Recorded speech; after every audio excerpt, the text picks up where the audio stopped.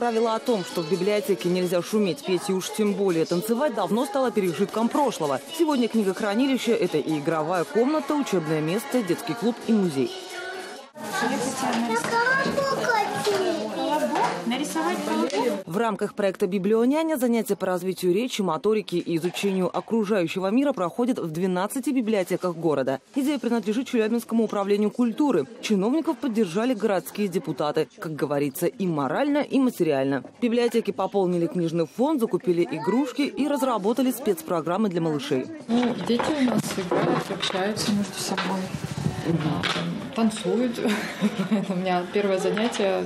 Дочка тут, наверное, в течение получаса просто танцевала. Конечно, это развитие ребенка, это общение, это работа в коллективе. Это очень интересно.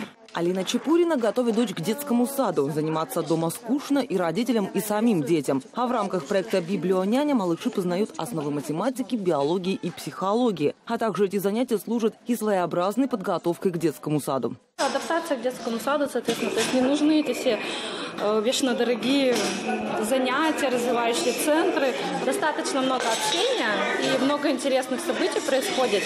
Для детей я считаю, что этого достаточно. Я просто сама вижу, как другие дети меняются на глазах. Вначале дети приходят замкнутые, очень стеснительные, они не отходят от своих мам.